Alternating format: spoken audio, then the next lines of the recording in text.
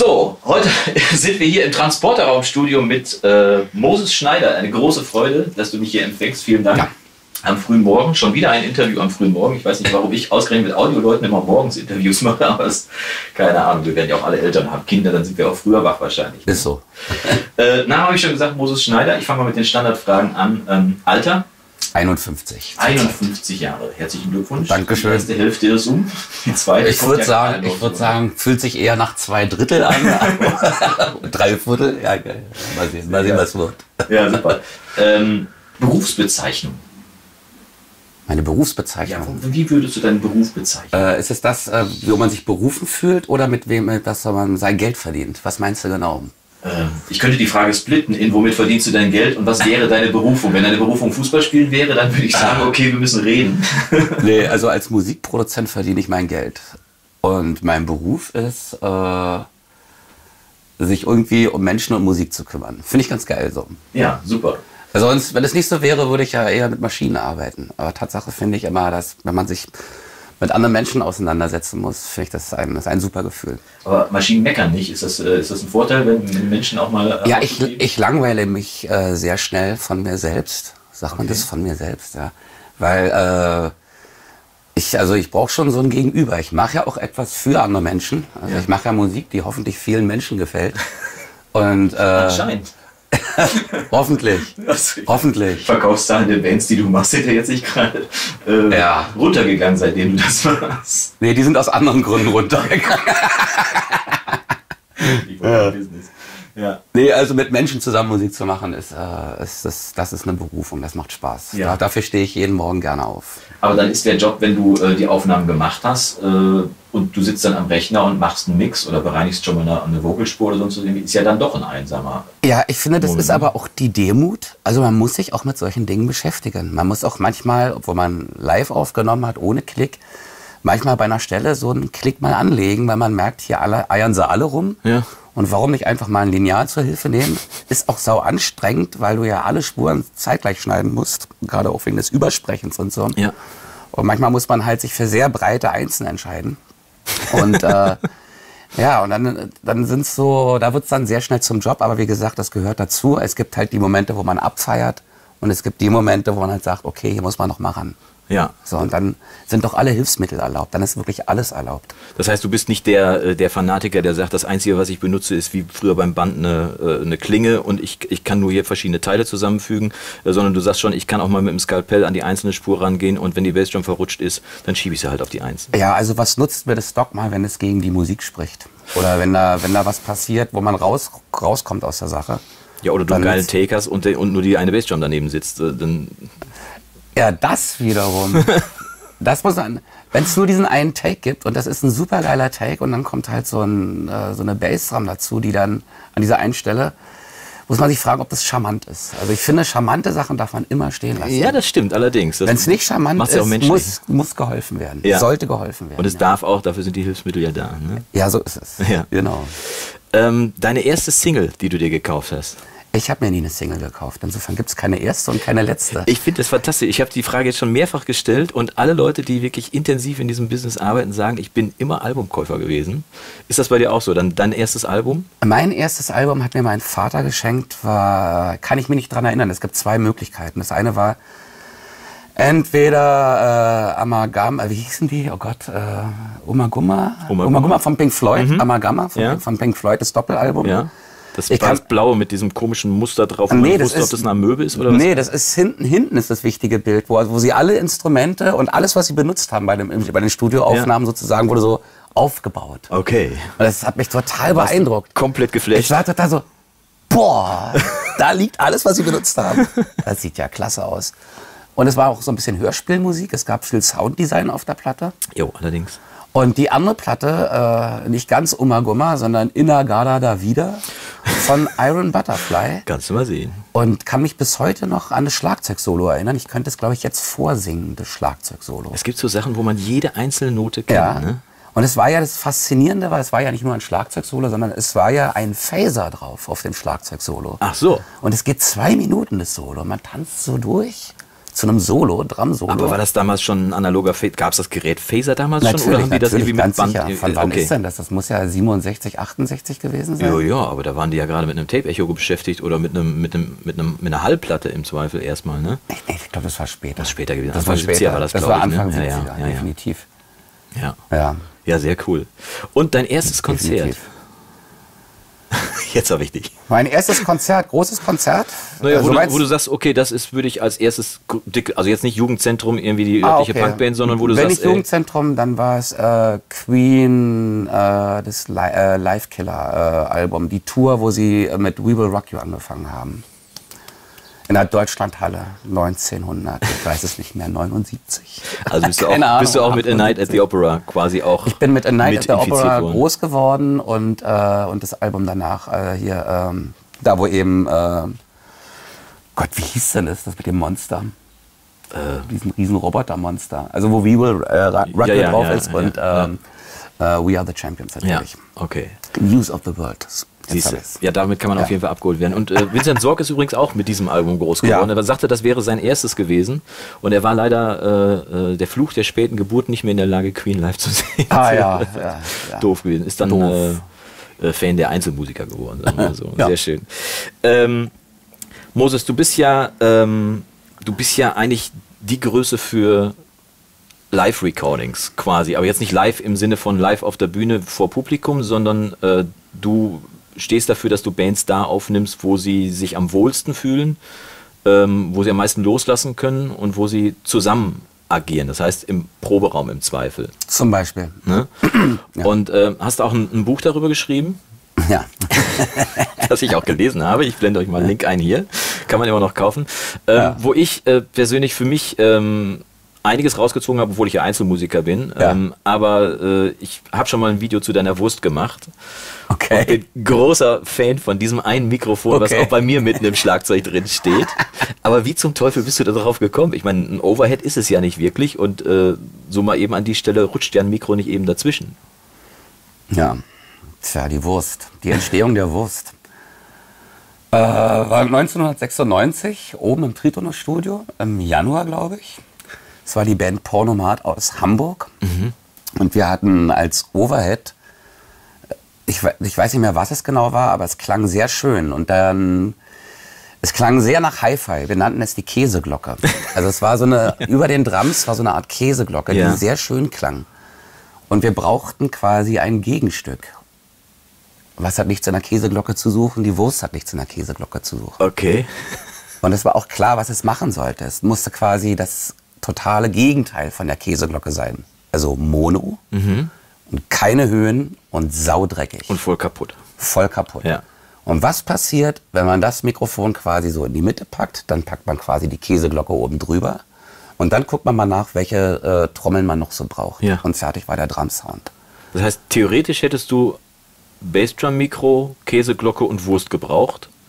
Und wenn Tom Föhl kommt, ein einzelnes Tom dazu gemischt. Oder wie hast du es wie hast du's dann gemacht? Ja, natürlich. Meistens, also die, natürlich war das am Anfang noch so, dass die Wurst, ich sag mal, leise dazugemischt wurde. Mhm. Das hat sich dann im Laufe der Jahre verändert. Also bei mir ist, wenn ich was mache, die Wurst quasi immer das Lauteste. Ja. Damit stelle ich den Grundcharakter der, des, der Drums ein, die Farbe, den, den Schweiß, den, was weiß ich auch immer. Die Hauptenergie quasi, ne? Genau. Ja. Deswegen ist es auch wichtig, wenn das Übersprechen da ist. Also wenn die Gitarren und so alle in diesem, in diesem Mikrofon drin sind, dann ist das eine, eine Garantie dafür, dass es auch ein brennender Take wird. Also beim Mischen bleibt auch. ja, das schmilzt aber auch dann die einzelnen Spuren zusammen. Macht alles. Ne? Also als Einzelmusiker ist die, ist die Wurst gar nicht so spektakulär. Ich finde sie in der, in der, zum Zusammenspiel mit der gesamten Band halt fast noch wichtiger, weil sie alles stabilisiert. Wenn eine Gitarre nach links gepannt ist, sie bleibt in der Mitte dadurch oder zumindest drei Meter weiter. Die Aura drei Meter weiter bleibt da hinten in der Wurst kleben. Ja. Und du kommst nicht in die Situation, dass du, wenn du eine Gitarre links aufnimmst und eine Gitarre rechts aufnimmst, noch eine in der Mitte aufnehmen musst, damit das Gitarrenbrett sich über das ganze Stereo quasi zieht. Wenn du nur links und rechts hast, fehlt immer was in der Mitte. Okay. Jeder kennt Ja, ja, das, der das stimmt. Gitarren so. Das ist- es sind immer drei Gitarren, Ja, bei ja. denen die nicht mit Live-Aufnahmen oder mit Übersprechen arbeiten. Und die spare ich mir schon, diese dritte Spur, weil es ja in der Wurst drin ist, die Gitarre. Ja. Letztlich. Ja, ja, Wahnsinn. Ähm, das heißt aber auch, äh, dass du ähm, nimmst du die Wurst dann auch, wenn du nur Schlagzeug solo aufnimmst? Ich meine, Ja, du auch, machst ja. ja nicht immer komplette Band, aber du hast es dann Ja, auch wenn ich, wenn ich. Schlagzeug solo aufnehme oder wenn ich für äh, Produzenten als Toningenieur arbeite, dann baue ich mehrere Würste auf. Die sind auch alle an derselben Position. Das sieht dann so aus wie, wie früher bei Pressekonferenzen. So viele Mikrofone auf einem Haufen. Und das ist dann äh, quasi dieses Bundle von Mikrofonen, was dann an, an der, genau, das ist das Wurst Area. das mache ich aus folgendem Grund, dass die, äh, dann habe ich keine Laufzeiten zwischen den Mikrofonen Ja. und kann halt äh, die verschiedenen Charaktere oder Klangfarben, was immer man da noch so erwischt, miteinander verbinden. Das heißt, man kann eine sehr aufwendige Wurst gestalten. Und besonders lustig wird es dann, wenn man auch noch ein Stereomikrofon benutzt. Dann hat man eine Stereowurst Okay. innerhalb des Drums und äh, gibt es auch eine, eine super Aufnahme von, und zwar das letzte Seed-Album. Da habe ich die Drums aufgenommen und dann habe ich den Mixer Olsen gefragt, äh, so nach einem halben Jahr oder so. Sag mal, hast du die überhaupt verwendet, die Stereowurst? und er meint, ey, Alter, voll geil, natürlich, full on, mega geil. Also, da freue ich mich natürlich, dass, dass die Leute so einen Spaß dabei entwickeln, wenn sie da die Würste hochziehen. Ja, aber ganz ehrlich, ich habe das auch. Ich bin, ich bin jetzt nicht der weltbeste Schlagzeuger, aber bei mir steht der halt im SM57 auch mitten im Schlagzeug. Und ganz ehrlich, äh, ich bin nicht so bewandert im, im Snare-Sound hinkriegen, aber wenn ich die Wurst dazu schiebe, klingt es immer gut. Das ist halt so. Das ist super. Ähm, wenn du sagst, dass du die, äh, wenn du eine Band aufnimmst und die Wurst dann quasi auch äh, für den Mono-Anteil nimmst, Ja, checkst du deinen Mix in Mono? Ist das wichtig für dich oder ist das eher Wumpe? Ich, äh, äh, klar, wenn ich leise arbeite, sprich, wenn ich zum Beispiel Vocals schneide zu einem zu einem Lied, dann mache ich das meistens mono und leise und links in der Ecke. Komischerweise links, nicht rechts, muss links sein. Und es muss, äh, eine, es herrscht dann eine homöopathische Lautstärke. Also es ist so leise, dass sämtliche Lüfter und so sind genauso laut wie die Mucke letztlich. Okay. Und, aber wenn man sich darauf so ein bisschen eingruft, äh, dann hört man eigentlich sehr genau, was da abgeht. Und ob der Sänger irgendwie den Ton kriegt oder ob wie der Ausdruck ist, finde ich. Und, äh, und dann merkst du ja, du schiebst dir ja, um das zu beurteilen, schiebst du die Musik ja so hin, dass sie auch in Mono gut klingt. Also insofern Mono, ich mache das nicht mehr so, ah, bin ich noch Mono-kompatibel? Also technisch hat das eigentlich keine Bewandtnis. Tatsache, wenn ich mit Brettgitarren arbeite, mit Links- und Rechtsgitarren, äh, checke ich in Mono, wie laut ich werden darf mit der Gitarre. Ja. Ich natürlich, wenn ich in Mono bin, sind ja die Gitarren automatisch 3 dB leiser, wenn ich Mono abhöre. Ja, ja. Das heißt, ich bin mutiger, wenn ich, das, wenn ich die Gitarren fahre in Mono. Verstehst du, was ich Weil meine? dann mehr Gas Weil ich sie ja okay. 3 dB Mhm. leiser wahrnehme Ja. Mono und 3 dB ist, eine, ist ein Riesenunterschied. Absolut. Genau, und dann zählt jeder Millimeter. Und irgendwann merkst du so, boah, ich freue mich gleich, wenn ich auf Stereo umschalte, weil dann die Gitarren ja automatisch die Löffel lauter sind. Und dann geht es eigentlich nur noch darum, gibt es irgendeine Frequenz, die mich jetzt noch nervt an der Nervt, ja. Gitarre. Ist es eine hohe Frequenz, ist es eine tiefe Frequenz? Und wenn man die dann engbandig rausdreht, sind diese Gitarrenwände einfach ein schönes Gefühl. Das ist einfach voll geil. Ja. Und gerade auch so, wenn man sich so schwedische oder englische Mixer anhört, wo die wo halt die hohen Mitten angehoben sind, diese 4 Kilohertz, die berühmten, die wir ja, Ja. immer rausdrehen. Ja. In Deutschland ist ja 4 Kilohertz Hasser. Und die Engländer machen das halt ganz gerne und so. Und die und dann ist es halt geil, wenn man in diesem Bereich dann halt nur ganz eng eine, also wirklich die Oberfrequenz, die wirklich nervt, wenn man Ja. die rauszieht, dann bleibt es nämlich so klar und so Ja. hell und äh, trashig und so. Das ist schon ganz geil. Und wenn du, wenn du, wenn du dann äh, die Gitarren hart links, rechts panzt, Ja. gibst du den dann auf der gegenüberliegenden Seite noch den Hall dazu? um nee, das brauche ich Nicht. Das habe ich in den Drums drin. Okay, alles das klar. ist ja in den Drums drin. Ich brauche danach so und so ke- keine räumliche Information mehr Ja. im Sinne von, wo muss ich etwas platzieren, weil, wenn du das Buch gelesen hast, ist dieses... Ma, ja, klar. Nee, ist ein bisschen her, ich gebe Ja, ja, zu. nee. nee, aber da geht es um, um, diese, äh, um die Symmetrie. Das heißt, dass Ja. man, egal wo man ist, egal in welchem Raum, egal welcher Aufbau, man sollte darauf achten, dass wenn man die Overheads hochzieht, dass man eigentlich anhand der Overheads erkennen kann, wer saß oder wer spielt auf welcher Seite. Ja. Und wenn du das auf den Overheads schon hörst, ach, da ist der eine Gitarrist, da ist der andere oder was weiß ich für Musiker. Und dann ist die Bühne schon bereitet. Genau, und ne? dann kannst du alles auch in diese Richtung hinpacken. Das Ja. heißt, du gewinnst erstmal unfassbar viel Transparenz. Ja. Allein dadurch, dass du dich an, die, an, das, an das ge- vorgegebene Panorama richtest. Es macht keinen Sinn bei einer Live-Aufnahme, später links und rechts zu verdrehen oder so. Man kann das machen, mache ich ja manchmal, wenn es so sein soll. Aber eigentlich fängt dann der Matsch an. Sondern geiler ist es, genau dahin zu pannen, wo es ist und so weiter. Also dann dann kommt, äh, entsteht viel Transparenz und damit eben auch viel mehr Druck, als man denkt, gerade bei einer Live-Aufnahme. Ja, das heißt aber, du hast im Raum dann auch keine Raummikros mehr zusätzlich stehen und du nimmst die Overheads als Raummikros quasi auch? Äh, Ja, meistens arbeite ich ja mit Bands, die gar nicht mehr so viel Budget haben, um in ein Studio zu gehen. Und Ja. dann brauche ich auch kein Raummikrofon an, oder an ein Raummikrofon Ja, zu gut, denken, ja, weil es meistens ein Proberaum Ja, ist. ja, genau. Und ein Proberaum ist, wie gesagt, immer klein und eng und muffig. Und wer möchte schon eine Spur haben, die heißt klein, eng und muffig? Das kann ich nicht gebrauchen. Ja, aber es kann ja sein, dass du, dass du wenn das, in auf, wir machen im Studio bin, mal. wenn ich, wenn ich, äh, mit, ja. ein, wenn ich mit der Band in ein Studio gehe, Mhm. dann, dann suche ich mir den Raum dazu sehr genau aus. Wenn ich also merke, oh, die sind eher so Punkrock-mäßig unterwegs, Ja. dann nehme ich lieber eher einen dunkel klingenden Raum. Also nicht, Okay, nicht ja, hell im Sinne. Mhm. von, wenn ich die Möglichkeit habe. Also wenn Budget und wenn die Möglichkeiten da sind, dann, dann merkst du, ach, das ist eine langsame Band, das ist ja super. Oder die arbeiten halt mehr so im, äh, langsam, mit langsamem Ja, ja. Tempi.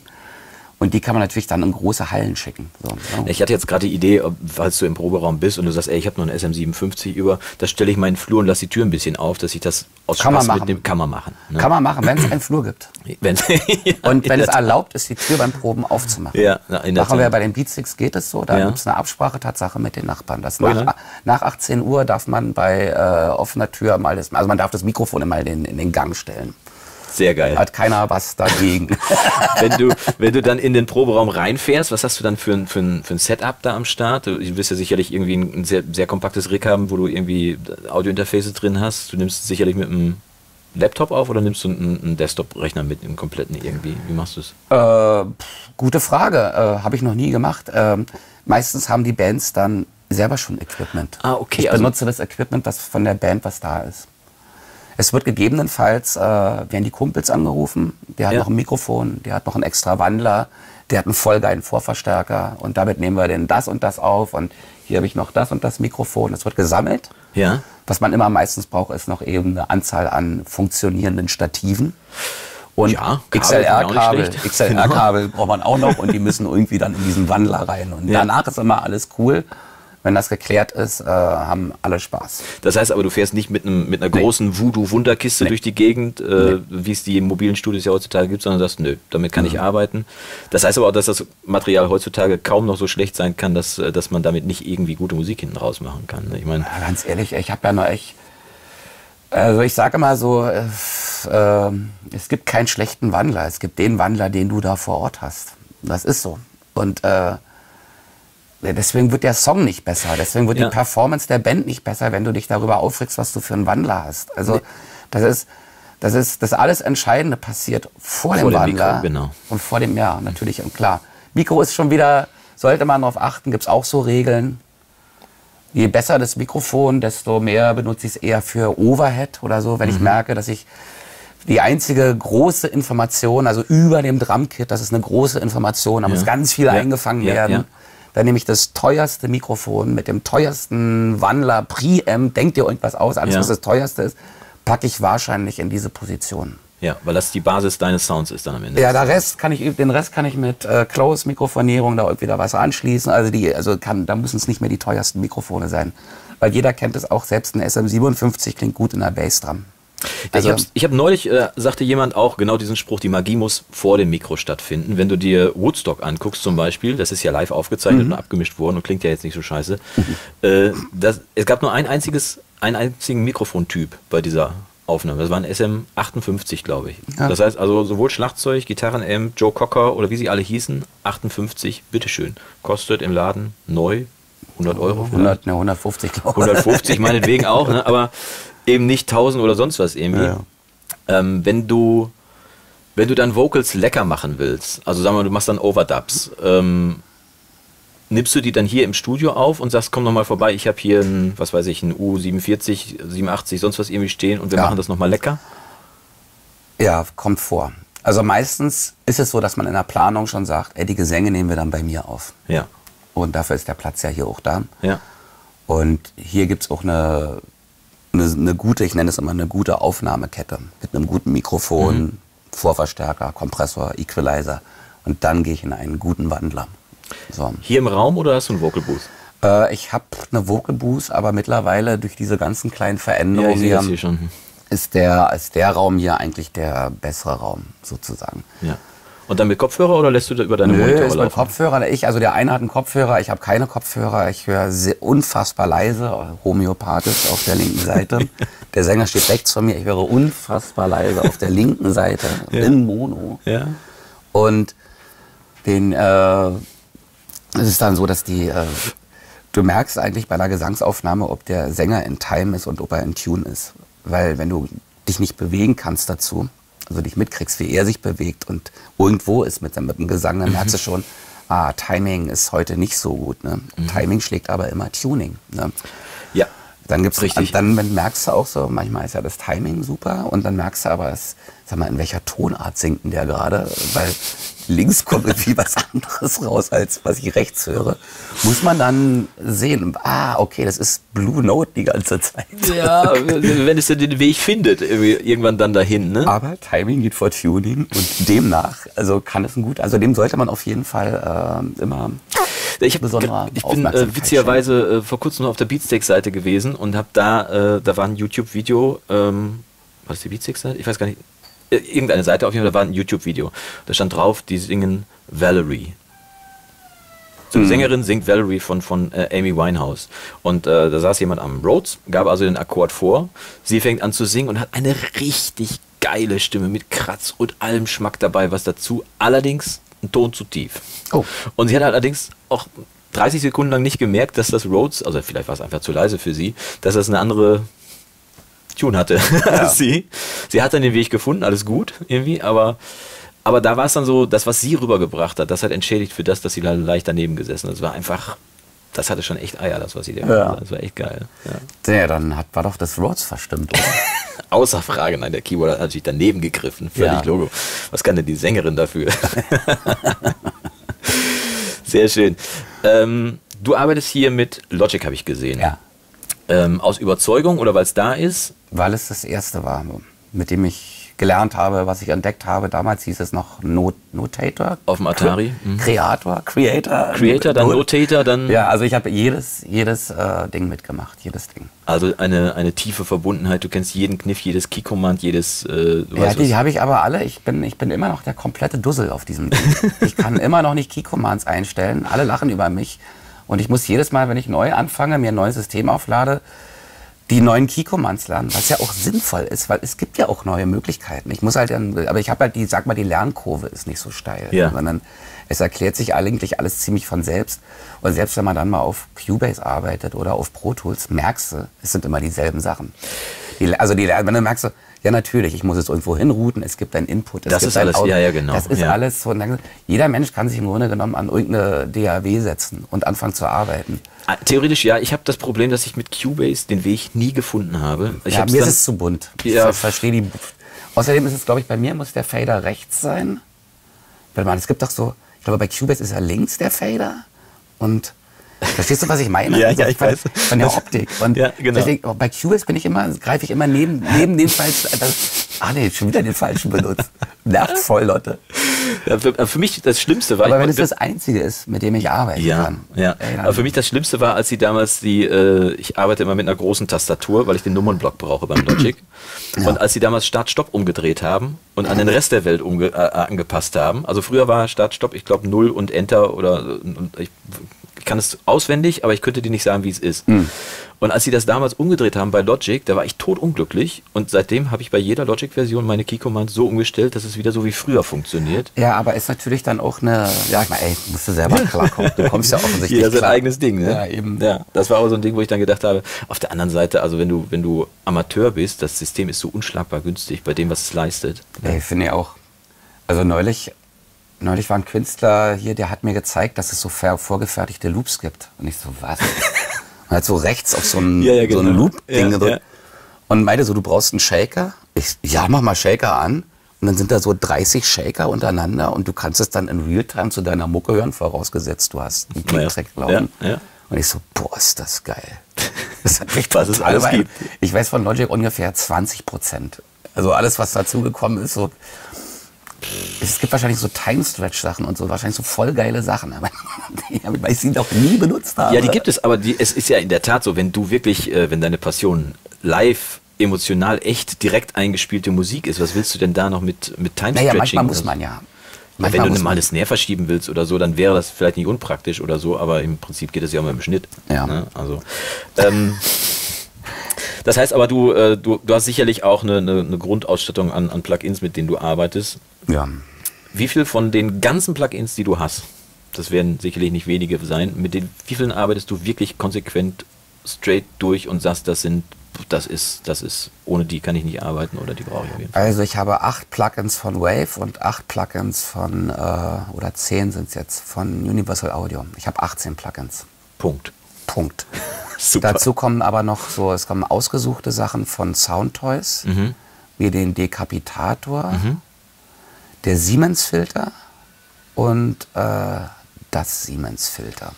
Das heißt das Filter. Das Filter. Es heißt das Filter. Heißt Wir sind hier in Berlin, da kommt. Siemens her, dann heißt es auch das. Filter. Immer das Filter. Das Filter. ist Jod, wa? Ah. Super. Und äh, was noch? Ja, den Echo Boy. Ja. Genau, und den Valhalla. Also wir kommen also vielleicht auf, ich sag mal, maximal 30 Plugins. Aber es klingt ja nach einer Basisausstattung am Ende des Tages. Plus das, was. Logic bringt wahrscheinlich, ne? Logic, oder benutze ich? Logic benutze ich dann zum Beispiel sehr viel, wenn ich in einem Studio bin, wo Logic läuft Mhm. und man macht schon mal so abends Raffmixe für die Künstler. Ja, ja. Und die kann ich dann bei mir aufmachen. Stimmt, genau. Weil ja. ich habe dann genau die Plugins. Also was nutzt mir das, wenn ich dann mit Plugins arbeite, die ich dann ich nicht habe? Dann nutzt mir das nämlich gar nichts. Nö. Und fange natürlich dann an zu gucken, was kann ich dann später beim Mischen selektiv austauschen. Mhm. Also wenn ich hier sage, okay, hier habe ich so einen 0815 Kompressor drauf, mal gucken, was dann eher so ein 1176 macht, Ja. wenn man den mal ein bisschen ankitzelt. ja. Und auch äh, bin auch so seit also seit Universal Audio und seitdem auch ähm, Logic äh, seit Logic 10. Also seitdem seitdem ich auch fast eigentlich konsequent mit 88 Kilohertz arbeite Mhm. und 24 Bit vermisse ich in der analogen Welt ehrlich gesagt nicht mehr so Fülle. Das Also heißt, wenn es um das Outboard- Sounddesign geht. Mein Outboard ist, schläft ruhig vor sich hin. Ich finde, es ist eine teure, schöne Tapete. Ja, sieht schön aus. Ja, genau. Manchmal benutze ich es auch, also ab morgen welche. Da sind zwei Geräte, die wieder an sein müssen. Hoffentlich gehen sie noch. Die gehen noch, die gehen noch. Nee, nee, also es gibt so ein paar Geräte, ja. Aber die Wahrheit ist natürlich, dass, äh, dass ich den Unterschied nicht mehr höre. Also, Ja, ist Ich ja, ist ja Lob an die Plugin-Hersteller am Ende des Tages. Ne? Das so, also, ja, ich habe äh, mal so einen Test gemacht. Äh, da ging es um äh, Summieren, passive Summierung mit zwei verschiedenen Vorverstärkern ähm, am Ende und äh, gegen, gegen Mix in a Box. Also drei verschiedene Beispiele. War eine sehr, äh, ging um 24 Takte mit laut und leise, Mono und Stereo. Viel Dynamik. Und äh, habe dann diese Stelle quasi mit, mit drei verschiedenen Setups sozusagen äh, gemischt. Und habe dann die Mixe parallel gelegt, habe die Phase gedreht und wollte wissen, was übrig bleibt. Wenn nichts übrig geblieben wäre, sei also da übrig bleiben würde, würde man denken, okay, hier ist ja eine komplette Auslöschung. Dann ist es so und so egal, ob digital, egal, genau, analog. ja, ja. War aber nicht so. Sondern es war Tatsache so, ah, hier blieb das und das Geräusch übrig, da das und das Geräusch und so. Also interessant. Also Mhm. Ja. damit war ja der Beweis ergeben, dass das wirklich was anderes ist. Ja. Und jetzt ging es darum, äh, zu hören. Und dann Okay. kam der Blindtest. Herrlich. und hab, ich habe das zehnmal oder so gemacht und äh, ich weiß, ich lag dreimal richtig und siebenmal falsch. Ja. Habe das dann noch meinem Kumpel gegeben, der sich auch damit beschäftigt hat, dem er auch das Gerät empfohlen hat, den Summierer und so. Musst du hören, das ist alles ein bisschen offener, ja. ist geiler. Und so, und ich so, ey, okay, lass machen, lass machen. Und er hat es dann nochmal bei, der war hier, konnte den Unterschied auch nicht hören. War dann, ist dann in sein Studio gegangen und meinte, ja, bei mir höre ich das so, ich glaube, ich da höre ich das ein bisschen besser. Und dann meine ich so, Liegt an Abhörer meine ich oder so, was? Max, ganz ehrlich, und das ist irgendwie 2000 Euro wert, das kann doch nicht wahr Ja, sein. plus den Aufwand, den du beim Mischen ja hast, weil du musst ja alles raus, wieder rein. Das heißt, du kannst ja auch nicht mal eben bouncen, wenn du den Künstlern was schicken willst, sondern musst es aufnehmen in Realtime und was Ja, nicht alles. Die Leute, das ist, man arbeitet nicht mehr linear. Das ist Nee. äh, die. Früher ging es nicht anders, weil du ja, da gab es eine Session, da war das Band, da war das Mischpult. Und du konntest nicht zwischen den Songs hin und her sprechen, weil du müsstest dann dauernd das Mischpult umstellen. Ja, ja. Und deswegen musste man linear aufnehmen. Und heute muss man nicht linear aufnehmen. Ich kann bei dem, heute die Drums für das Lied machen und morgen die Gesänge für die und die Band und in zehn Minuten kommt noch eine Geigerin vorbei, die wollte doch auf diesem Track von dieser Band spielen. Ja, und das ja. ist alles so zack, Komplett zack, Total zack, Recall. zack. Ja. Ist aber auch schnell geworden dadurch das Geschäft, ne? Also wenn, Ja, ja, wenn aber, die ja, Nachfrage da ey, aber ich finde immer dieses digital-analog, also so, so analog hat seine Vorteile. Wenn es eine Bandmaschine gibt, es gibt Geld für Band, dann ist es einfach was Geiles. Weil es, das ist schon ein Unterschied, ob man dann Vorband oder Ich Hinterband. sehe dann einen Roland Space Echo. Ja, das, der das, haben wir, E201. das haben wir richtig fertig gemacht. Das auf dem ganzen, auf dem KIZ-Album, auf dem letzten, Mhm. ist das so einer der Hauptklanggeber. Äh, wir haben quasi alle MIDI-Instrumente haben wir da durchgejagt. Damit die Leben kriegen. Jetzt ist das komplett im Arsch. Schade. das, ist, das haben wir richtig gerockt. Oh. Aber die Platte klingt, ich finde ja, die klingt super. Dann hat sich ja gelohnt. Dann- Vor allem immer, man hört es ja mal schon, das fängt mal so an und so Eier, Eier, Ja, ja, ja. und dann merkst du schon, wie fertig alles ist. Weil es nur noch am Eiern ist. Also, ah. Aber es gibt ja diese Romantik, irgendwie, dass man mit diesen, ich habe hab auch ganz oft schon Ja, geguckt, Romantik, ob du ich mir, es. genau, ob ich mir das das. da hinstelle und dann habe ich irgendwann gedacht, also erstens, wenn ich das haben will, kann ich es mir von Universal Audio kaufen, wenn ich diesen Ja, Effekt haben wollte.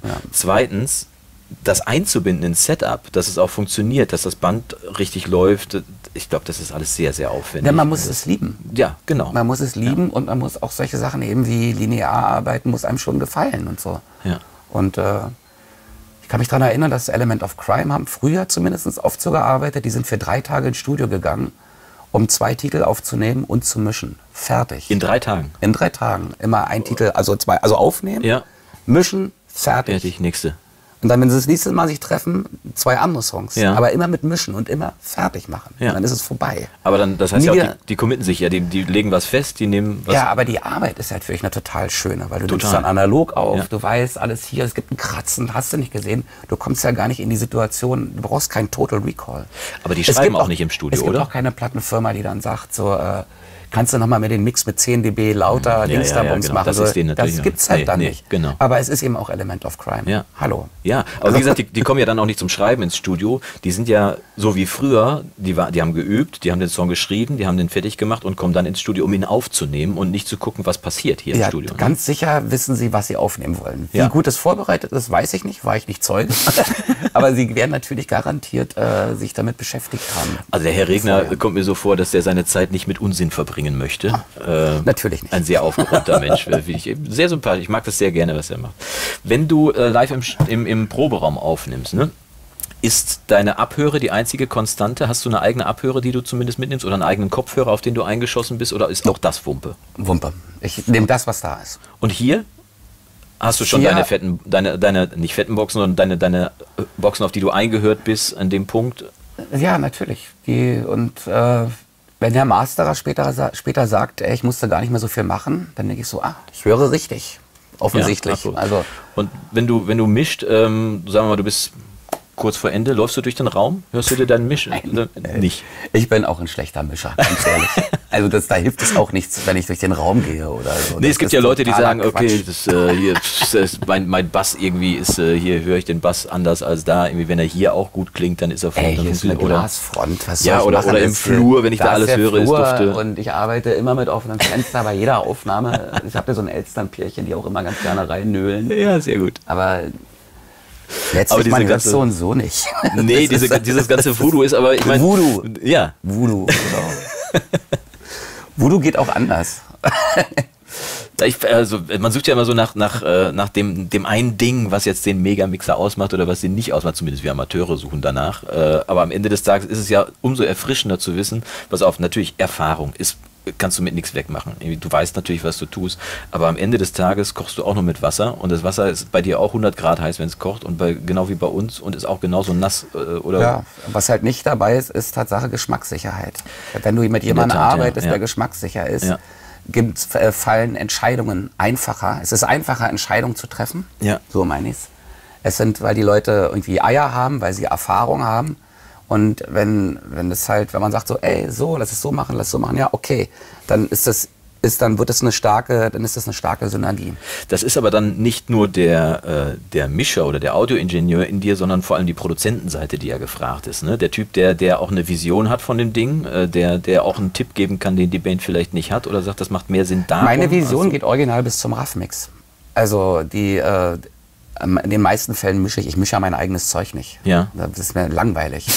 Na, weil da nichts mehr passiert. Dann Ja. ist der Raff-Mix, sage ich, es ist perfekt. Ja, bitteschön. Wenn ihr es mischen, also ich würde es so zum Mastern geben, dann sagt der Masterer, ey, damit kann ich nicht so viel anfangen, weil wir haben keinen Druck hier.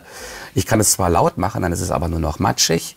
Also muss irgendjemand, muss ich jemand finden, der das Gefühl des Raff-Mixes es in so in Form bringt, dass, dass man sich halt mal eher fünf Minuten mit einer Spur beschäftigt, weil ich bin einfach zu faul dafür. Ich höre mir nichts mehr, ich höre mir keine Solospuren, ich höre doch keine Bassdrum in Solo. Das ist was für eine Zeitverschwendung. So.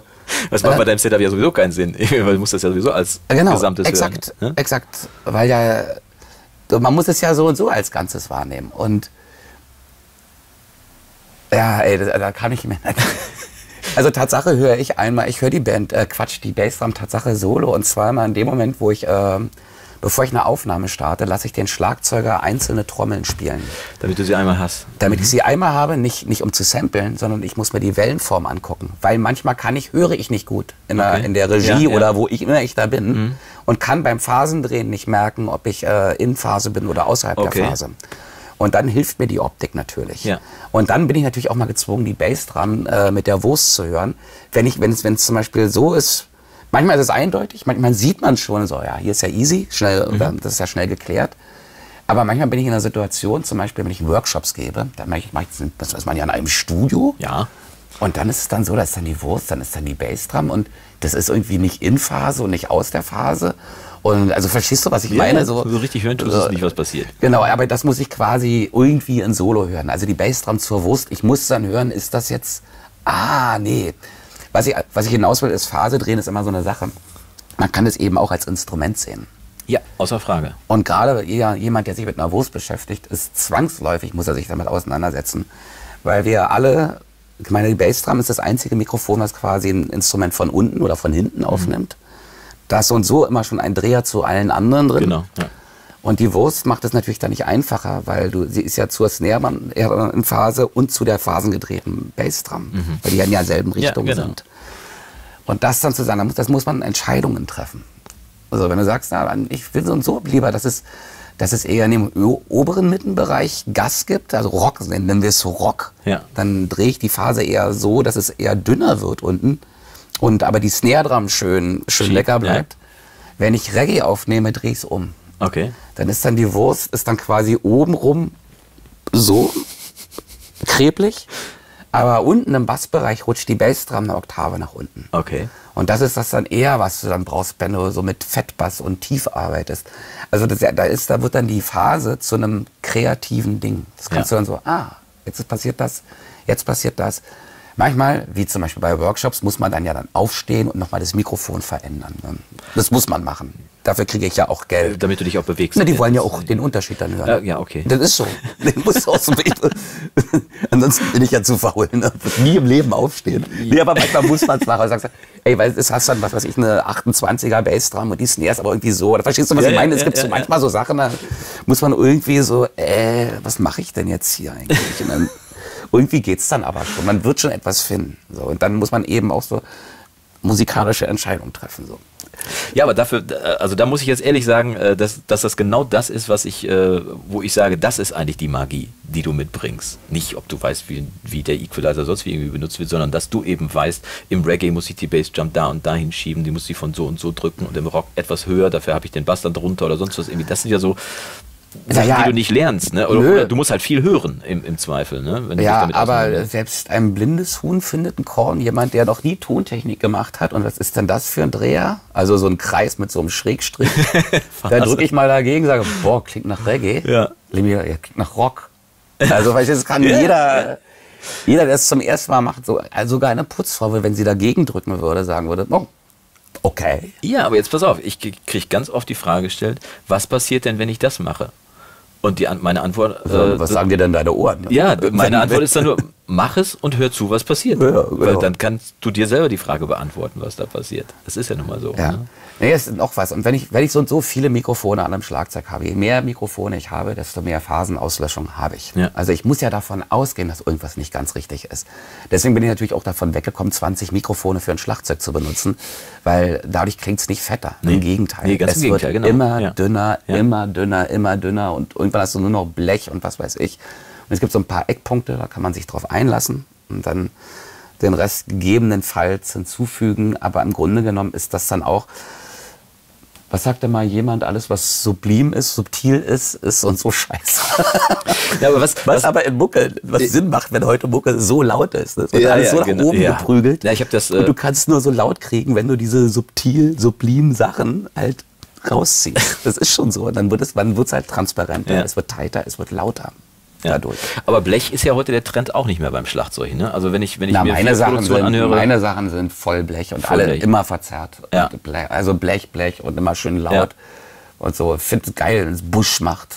Ja, finde ich auch geil, aber wenn du, wenn du heutzutage einen Mix hörst, dann hörst du eine Bassdrum, die fast genauso spitz ist wie die Snare. Ja, das ist die halt- unterscheiden sich halt ja, nicht genau. mehr Und dann hast du ganz leise links. Das ist man immer klasse, wenn dann im, im Refrain, wenn dann der Drummer, natürlich, wir reden hier von krassester Klicktrack-Produktion, dann kommt dann so das, äh, kommt dann der Refrain und dann geht der aufs Becken. Ne? Und das ist immer so ein leises Geräusch. Also irgendwo rauscht es. Jetzt auch ein und rosa Rauschen hochziehen genau. können. Ne? Das ist ganz krass, weil der Beat hört auf, also das, was eigentlich wichtig ist, Ja. hört auf Ja. zugunsten einer Emotion, weil eigentlich ist ein Crashbecken eine Emotion, Ja. aber es ist dann Das findet nicht statt. und aber die Bass dran so ditsch, ditsch. Das ist so lustig, dann aber da bin ich auch mal kaputt. Bei einer Wurst würdest du was hören? Du würdest Ja. also du hättest einen unfassbaren Wald von Becken drauf und das Ja. ist laut. Und dann weißt du, okay. Sehr geil. Ja.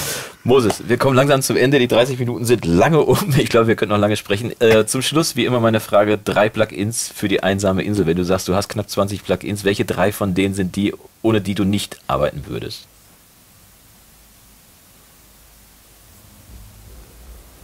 Kann, kann man auch Bundle nennen. Deine Also, drei Lieblingsbundle. Alles von Universal Audio? Alle? Nein. Nein, ich meine, viele sagen zum Beispiel, ich brauche ich brauch eine 1176 zum Beispiel. Der, Ja. ist, der ist schon sehr wichtig für mich. Ja, weil er den All-Ratio-Button hat und damit wird er zu einer Waffe. Ja.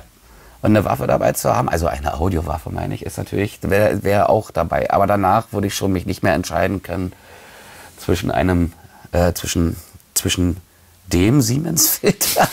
Oder das wie der Siemens-Filter. Siemens-Filter-Ding, na, das ist voll gut. Äh, genau, das Siemens-Filter. Ähm, genau, nee, weiß ich nicht, Dekapitator finde ich ja auch immer, also diese Zerrung, also was zum Anzerren haben, ist auch immer gut.